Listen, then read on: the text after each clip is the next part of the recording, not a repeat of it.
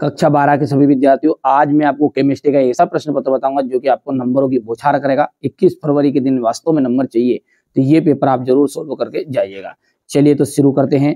पहला है आपका, प्रथम कोटि की अभिक्रिया बत्तीस मिनट में पिछहत्तर प्रतिशत पूर्ण होती है। तो पचास प्रतिशत पूर्ण होने में कितना समय लगेगा? सोलह मिनट। मस्टर्ड तेल अभिक्रिया का मुख्य उत्पाद क्या है?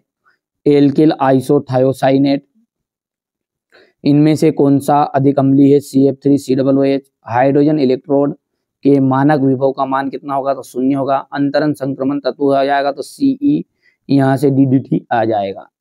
ये हो गया ठीक है भैया यहाँ पर।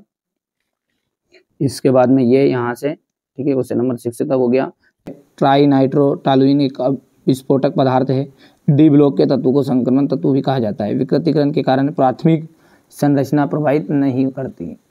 यहाँ से आपको कंप्लीट कर लेना है इतना और ये आपका क्वेश्चन नंबर दो रहेगा। चलिए, कहा जाएगा C twelve H twenty two O eleven T N B बढ़िया से करना भैया बार बार बोल रहा हूँ, बट धोखा मत खा लेना, अभी भी मौका है, मत खाओ, धोखा कर लो याद ठीक है टी एन बी विस्फोटक, दूध का आ जाएगा यहाँ पर लेक्टोस बालों का जो झड़ना आ जाएगा biotin C H three N C S का जाएगा मस्टर्ड ऑयल की तरह गंध।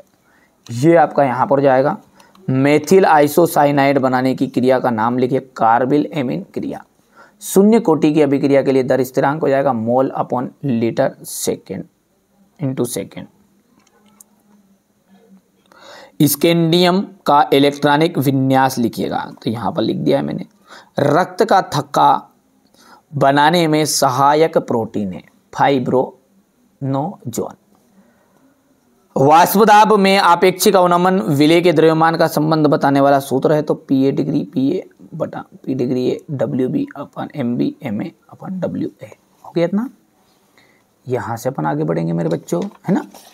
चलिए, आगे बढ़ते हैं। यहाँ से अपन सत्य सत्य है। तो यहाँ पर ग्री ग्रिगनार्ड अभिकर्मक एक कार्ब धात्विक योगी के सत्य है।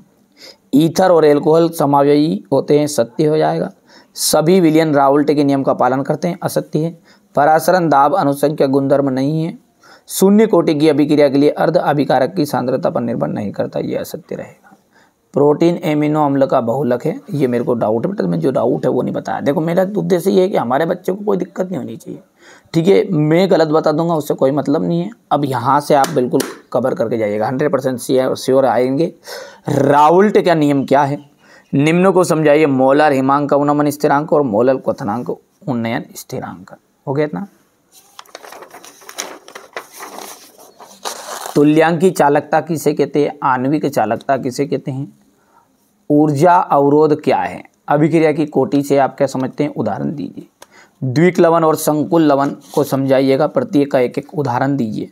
कार धातु कार्बिलनों में पंदों की प्रकृति की व्याख्या कीजिएगा। आई नाम का उपयोग करते हुए सूत्र यहाँ से देना है। ठीक है?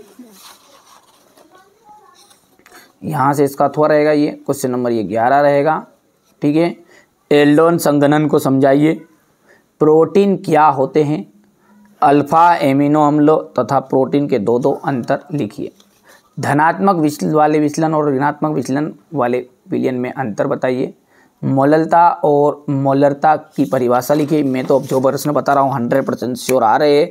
जिन बच्चों को ये लगता होगा कि नहीं आएँगे तो कोई दिक्कत नहीं बेटा। हमारा उद्देश्य क्या है? आपकी संतुष्टि। देखिए, सबसे पहले तो आप संतुष्ट हो। यदि आप मुझसे संतुष्ट हो और लगता है कि ये लायक है, अपने लायक व्यक्ति है तो करो याद नहीं तो कोई दिक्कत नहीं है। है ना? सिद्ध कीजिए कि शून्य कोटि की अभिक्रिया का अर्धायुकाल अभिकारक के प्रारंभिक सांद्रण के समानुपाती होता है।